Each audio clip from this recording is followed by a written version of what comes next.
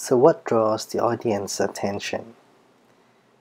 So look at this poster for example. Try to look at this poster and see uh, where your eyes uh, land first and where it stay the longest.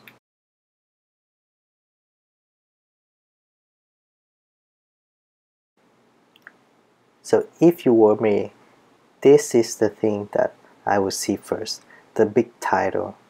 And the second, I will see the largest illustration in the poster that immediately draw the attention.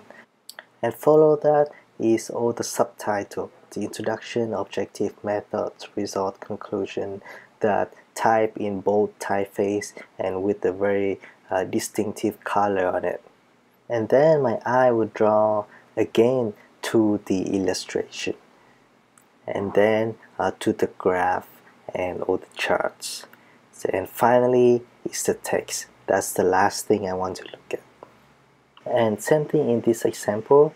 You can see that in this beautiful uh, poster uh, if I delete all the text out you can see that uh, it still make a very beautiful and uh, impactful poster because 90% uh, of the poster is illustration is all the figure, graph, maps that draw the attention of the audience. So uh, I went to talk to poster judges and uh, some of the students that win the best poster award.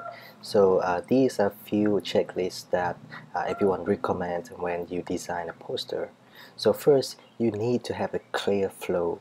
Uh, either it's from top to bottom or from left to right you need to arrange your content so that it will lead the eyes of the audience and follow the flow, the sequence that you want it to.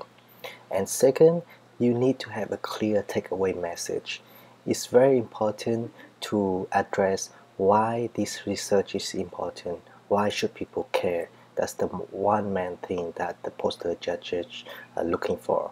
And uh, you need to address also like what did you do and uh, what did you found in the uh, methodology and in the result and discussion part? So very clear. Maybe you can use bullet points or doesn't need bullet point. It has to be a very clear message. So uh, third uh, your design should be uh, should contain of 80% illustration like figure graph and stuff and just 20% of text to uh, elaborate and to give a context of what are you presenting in the illustration. And all the graphs should be self-explanatory. It means that uh, if the graph need you to be there to explain to audience it is completely failed already so you can put some detailed notes in small text uh, next to like figure number one and then you can uh, put the note over there. And also when you want to add any text try to limit it in uh, less than three line paragraph and also less than three type of fonts in the whole design and also three different size so make sure you leave uh, enough of blank space to breathe in your design. And lastly uh, you can design your poster follow a theme color. Uh, for example if you research about the ocean you can choose like a bluish color or if you uh, work something about the industrial maybe some gray black scale might be look interesting. So um, you can use the eyedrop to uh, choose the color accordingly and um, so what should you uh, avoid uh, in design a poster? So try to avoid chaotic poster. Don't just put everything from your uh, publication into the poster and then just present it as it.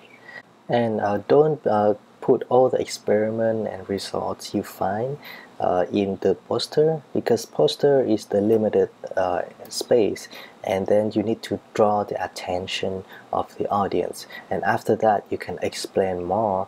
You don't need to put everything in the poster and make it busy. So keep it less than three. Three conclusion three result that is uh, good enough. And uh, try to stay away from busy text because no one wants to read text So just imagine a poster is like an exhibit in the museum. So people just walking by and then they stop at the one that draw the attention. And then they look at the artifact which is the illustration in your poster. And then if they uh, is still interested they look at the small text underneath to have a context to understand more. So that is the purpose of the poster. And uh, lastly, uh, stay away from complicated graph with unnecessary data. So if it doesn't serve any purpose, don't put it there. If uh, they have the graph there and you say just uh, ignore this graph, you don't need this, this is more important. So just uh, delete the one that not important and just keep the one that important and deliver the point. So I always wanted to think poster as 70% infographic and 30% scientific paper. So if you can fuse these two, you will have a very interesting and beautiful looking uh, scientific poster.